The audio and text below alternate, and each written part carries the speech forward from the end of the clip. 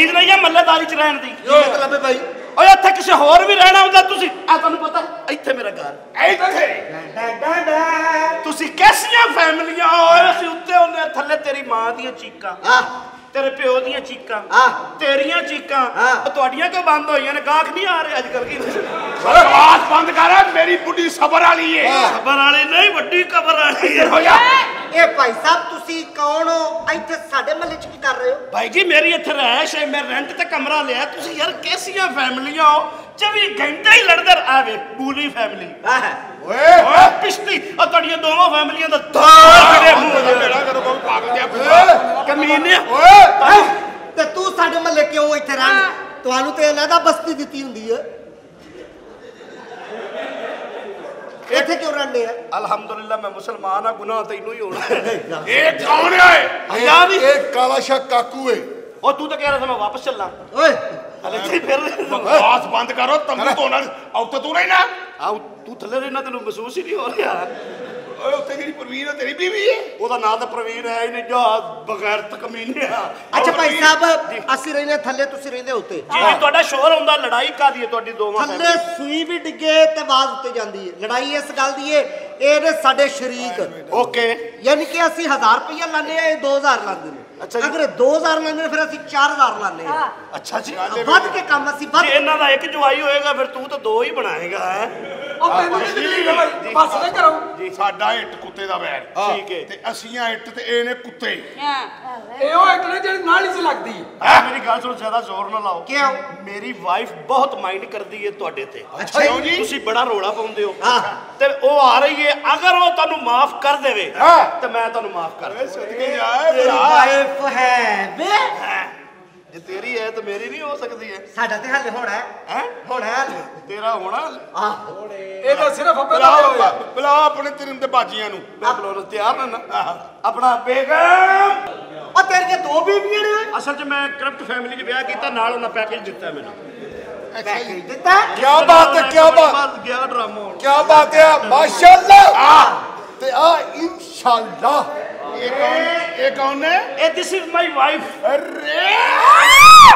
ਮੈਂ ਸਦਕੇ ਓਏ ਫੜਨ ਮਾਰ ਓਏ ਮੇਰੀ ਬੀਬੀਆ ਅੱਠ ਤੁਹਾਨੂੰ ਹਯਾ ਹੀ ਨਹੀਂ ਸ਼ਰਮ ਹੀ ਨਹੀਂ ਤੁਹਾਨੂੰ ਕੀ ਬਦਤਮੀਜ਼ੀ ਬਾਬਾ? ਮੈਂ ਤਾਂ ਆਪਣੀ ਬੀਵੀ ਨਹੀਂ ਬੁਲਾਉਂਦਾ ਤੁਹਾਡੇ ਮੂੰਹ 'ਚ ਜਿਹੜਾ ਬਾਬਾ? ਮੈਂ ਤੇ ਇਹ ਕਬਰ ਚ ਇਹ ਕੰਮ ਕੀ ਕਰਨਾ ਤੇ ਹੈ ਮੂੰਹ ਦੇ ਬਾਹਰ ਨਾ ਜਿੰਨਾ ਯਕਲ ਤਲਕੜੂ ਕਰਨਾ ਹੈ। ਮੈਂ ਠੁੱਡੇ ਮਾਰਾਂ ਅੰਦਰ ਕਾਚ ਸਮਝ ਆਈ ਹੋ? ਵੇ ਪਾ ਉਹਨੇ ਮਾਂ ਨੂੰ ਪੈ ਜਾਣਾ। ਓ ਬਾਬਾ ਨੂੰ। ਇਹਨੂੰ ਹੱਥ ਕਿਉਂ ਨਹੀਂ ਲਾਉਣ ਦੇ ਰਹੇ? ਸੜੀ ਏ। ਉਧਰ ਬੜਾ ਬਾਜ ਬਾਜ ਕੇ ਜਾਂਦਾ ਮਾਂ ਨੂੰ ਉਹਨੇ ਪੈ ਜਾਣਾ ਈ, ਉਹਨੂੰ ਹੱਥ ਆ ਲਾ ਜਾਂਦੇ ਮੈਂ ਵੀ ਉਹਨੂੰ ਮਗਰੋਂ ਇਹ। ਤੁਹਾਡੀ ਤੁਹਾਡੀ ਬੀਵੀ ਹੈ? ਦਿਸ ਇਜ਼ ਮਾਈ ਬੀਵੀ ਦਿਸ ਇਜ਼ ਮਾਈ ਸਾਲੀ। ਅੱਛਾ ਇਹ ਤੁਹਾਡੀ ਸਾਲੀ ਹੈ? ਜੀ, ਜੀ, ਜੀ। ਇਹ ਤੁਹਾਡੇ ਸ਼ੋਹਰ ਨੇ? ਜੀ, ਮੇਰੇ ਯਾਨੀ ਕਿ। ਤੁਹਾਡੇ ਹਸਬੰਡ ਯਾਨੀ ਕਿ ਤੁਹਾਡੇ ਖਾਵਦ ਨੇ? ਯਾਨੀ ਕਿ ਤੁਹਾਡਾ ਡਾਇਰੈਕਟ ਬੰਦਾ ਹੈ? ਯਕੀਨ ਨਹੀਂ ਆ ਰਿਹਾ ਤੇ ਤੈਨੂੰ ਮੈਂ ਅਸਲਾ ਵਿਖਾਵਾਂ ਫਿਰ ਯਕੀਨ ਆ ਜਾਏਗਾ। ਉਹ ਪਤਾ ਲੱਗ ਗਿਆ ਤੂੰ ਹੈ ਗੰਦੇ ਅਸਲੇ ਦੇ ਇਹ ਤੁਸੀਂ ਇਹਨਾਂ ਦੀ ਬੀਵੀ ਹੋ? ਜੀ ਮੇਰੀ ਇਹ ਤੁਹਾਡੇ ਖਾਵਦ ਨੇ? ਜੀ। ਉਹ ਤੇਰੀ ਦਲੇਰੀ ਦੇ ਸਦਕੇ ਜਾਵਾਂ ਕਿਵੇਂ ਹੌਸਲਾ ਭਰ ਕੇ ਤੇ ਢਿੱਡ ਚੁੰਬਦੀ ਹੋਏਗੀ ਆਹ ਮੌਸਮ ਅੱਛਾ ਹੀ ਮਜ਼ਾ ਲੈਣਾ ਚਾਹੁੰਦੇ ਡੀਪਲੀ ਗੱਲਾਂ ਨਾ ਦੱਸੀ ਇਹ ਬੜਾ ਖੋਚਲ ਬਗੈਰ ਸੀ ਇਹਦਾ ਧਿਆਨ ਕਰੇ ਤੂੰ ਕਿਵੇਂ ਇਹਨੂੰ ਕਹਿੰਦੀ ਹੈ ਜੀ ਮੂੰਹ ਇੱਧਰ ਕਰੋ ਮੈਂ ਯਹਾਂ ਸੇ ਕੀਸ ਕਰਨੀ ਹੈ ਤਮੀਜ਼ ਸਮਝ ਉਹ ਕਰ ਰਿਹਾ ਤੈਨੂੰ ਕਿਹੜੀ ਲੈਣੀ ਪਈ ਛੱਡ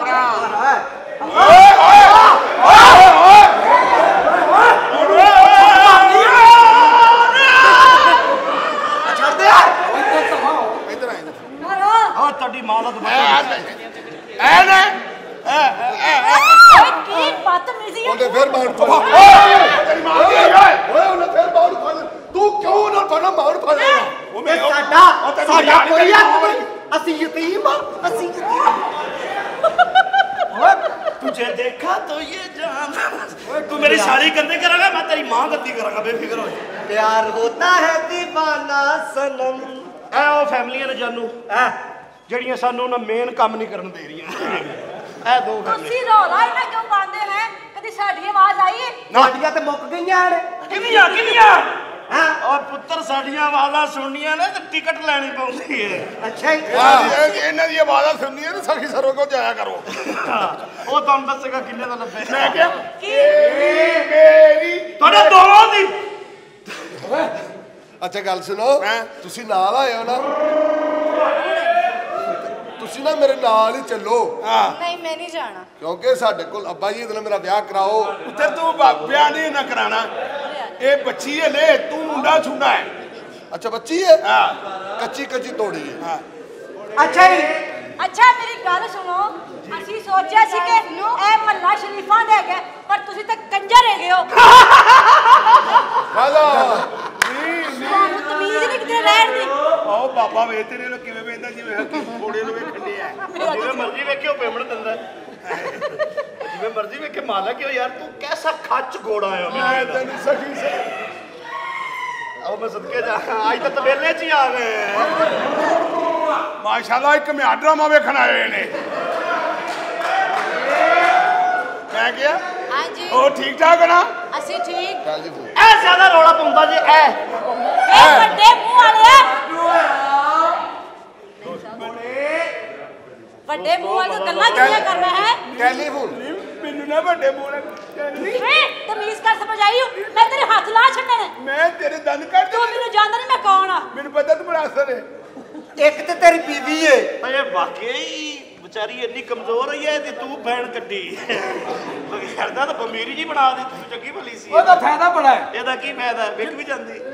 ਨਹੀਂ ਮੈਂ ਕਿਸੇ ਨਹੀਂ ਜਿੱਦਾਂ ਛਾਪਾ ਪਾ ਮੈਂ ਕੁੱਛੜ ਚੁੱਕ ਲੈਣਾ ਮੇਰੇ ਤੇ ਭਤੀਜੀ। ਆ ਮੈਨੂੰ ਨਾ ਤੂੰ ਵਾਲਾ ਵਿਆਹ ਕਰਾ ਦੇ। ਆ ਮੈਂ ਤੇਰੇ ਸਦਕੇ ਪਹਿਲੇ ਉਹ ਤਾਂ ਸੰਭਾਲ ਨਾ ਬਗੈਰ ਤਾਂ। ਆਪਣੀ ਤੇਰੇ ਕੋਲ ਸੰਭਾਲੀ ਨਹੀਂ ਜਾ ਰਹੀ ਉਹ ਫਰੰਟਲ ਵੇਖੀ ਜਾ ਰਹੀ। ਅੱਛਾ ਉਹ ਤੁਹਾਡੀ ਬੀਵੀ ਤੇ ਇਹ ਸਾਲੀ ਜੀ ਦਿਸ ਇਜ਼ ਮਾਈ ਸਾਰੀ ਦਿਸ ਇਜ਼ ਮਾਈ ਬੇਬੀ ਤੇ ਨਾਲ ਕੰਮ ਸਿੱਖਣਾ ਹੀ। ਮਰ ਗਿਆ ਨਾ? ਇੱਥੇ ਕਿਹੜਾ ਕੰਮ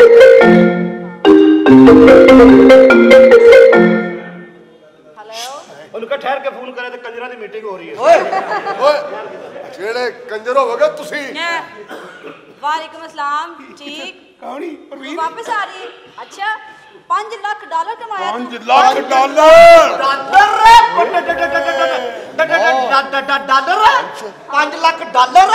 Dollar. ਇਹ ਕੌਣ ਏ ਮੇਰੀ ਭੈਣ। ਤੇ ਕਿੱਥੋਂ ਆ ਰਹੀ ਹੈ ਲੰਡਨ ਤੋਂ। ਉੱਥੇ ਤੇ ਉੱਥੇ ਤੇ ਯੂਰੋ ਚੱਲਦੇ ਨੇ ਯੂਰੋ। ਓਏ ਪਾਉਂਡ ਓਏ ਆ ਜੁੱਤੀ ਮੈਨੂੰ ਦੇਣਾ ਜੁੱਤੀ ਮੈਨੂੰ ਅੱਜ ਤੈਨੂੰ ਫਿਲਮ ਵੀ ਅੱਲਾ ਨੇ ਦਿੱਤੀ ਹੈ ਤੈਨੂੰ ਫਿਰ ਨਹੀਂ ਪਤਾ ਲੱਗਾ ਉਹਦੇ ਪਾਉਂਡ ਚੱਲਦੇ ਨੇ। ਉਹ ਪਾਉਂਡ ਚੱਲੇ ਪਾਉਂਡ ਚੱਲੇ ਅੱਛਾ ਠੀਕ ਹੈ ਅੱਛਾ ਮੇਰੇ ਭਰਾ ਨੂੰ ਕਿੰਨੀ ਠੰਡ ਲੱਗਦੀ ਹੋਏਗੀ ਕੀ ਸੇਧ ਮੇਰੇ ਭਰਾ ਜੀ ਆਪ ਬਾਤ ਕਰੇ ਬਹੁਤ ਅੱਛਾ ਜੀ ਇਹ ਕੌਣ ਹੈ